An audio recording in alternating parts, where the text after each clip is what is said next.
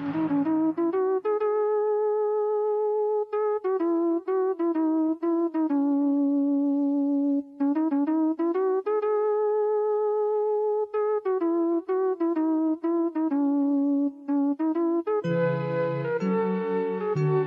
காலம் கடந்தும் பேசப்படும் சிறந்த படைப்புகளை மட்டுமல்ல கமல் ரஜினி விவேக் ஏ ஆர் ரகுமான் என சரித்திரம் படைத்த சாதனையாளர்களை அறிமுகம் செய்த கே. பாலச்சந்தரின் பட்டறையில் பட்டை தீட்டப்பட்ட மற்றும் ஒரு வைரம் இவர். என் பேர் வந்து ஜிஎம் சுந்தர். நடிகர் திரைப்படக் கல்லூரியில் வந்து நடிப்பு பயிற்சி படித்தார்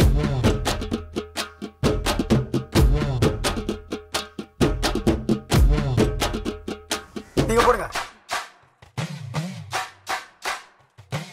என்னடா கதிர் ஃபோன் பண்ண வேண்டியதாடா இலங்கை தமிழ் கொஞ்சிய புன்னகை மன்னனில் தொடங்கியது இவரது பயணம். கடமை கண்ணியம் கட்டுப்பாடு என நேர்கோட்டில் மிளிர்கிறது.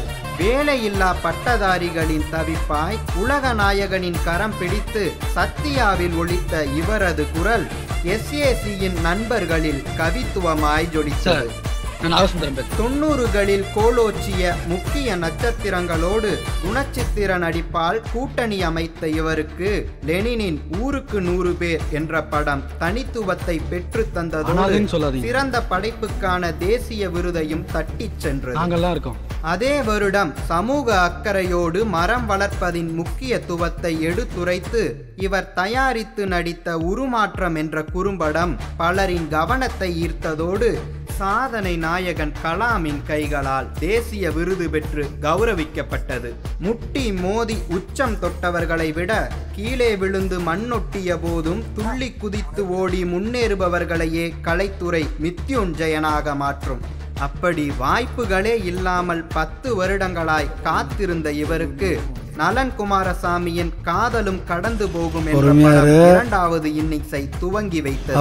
மங்குனி அமைச்சராக இல்லாமல் கககபோ என கருத்துக்களை கச்சிதமாக பிடித்து கொண்ட இவர் அடுத்தடுத்து வெற்றி படங்களில் நடித்து தனக்கென மக்கள் மனதில் தனியிடம் கட்டுப்பட்ட? ரங்கன் வாத்தியை எதிர்த்து துரைக்கன் வாத்தியாக இவர் காட்டிய பிலிம் இவரின் திறமைக்கு ஒரு மகுடம் சூட்டியது.